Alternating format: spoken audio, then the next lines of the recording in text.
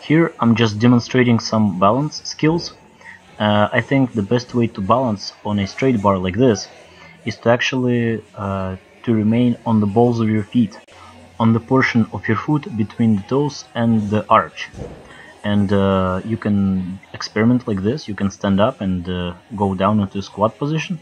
And I think the ultimate thing is to just play around with it.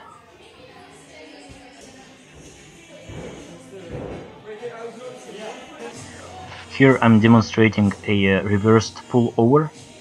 So you just get onto the bar like this, this position.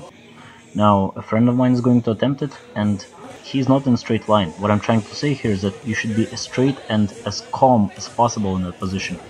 You shouldn't really shake a lot. See how I'm just static? And from this, this position is the best to actually push from.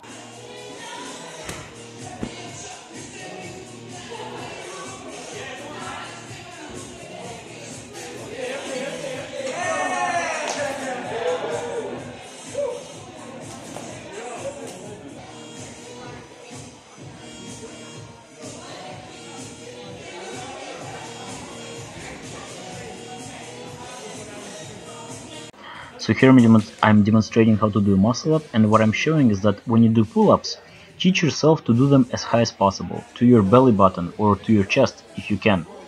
Don't stop at the neck. Another way to do a muscle up is to actually bend one of your hands over the bar. So you can use a bit of momentum and uh, go on the right side using your right hand and likewise switch to the other side.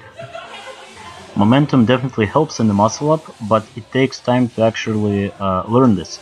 And so I think the best way to do that is to just uh, trial and error, you know, just repeat and see what works and and what doesn't. Here the guy is demonstrating the kipping technique and uh, this is very good for learning the muscle up.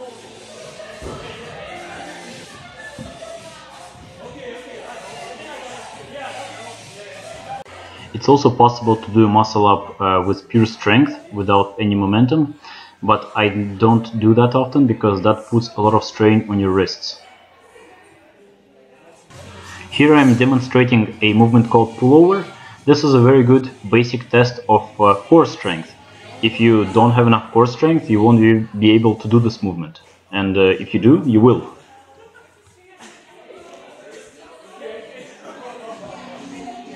Here I'm reviewing my backflips and I actually like them a lot. Uh, what troubles me the most right now is my back handsprings, which uh, are not natural for me at all. Here's an exercise to strengthen the back of your neck and this is done purely with your own body weight. So give this a try and uh, please don't break your neck though. If you find the content helpful, please uh, like, comment, share and subscribe. See you next time.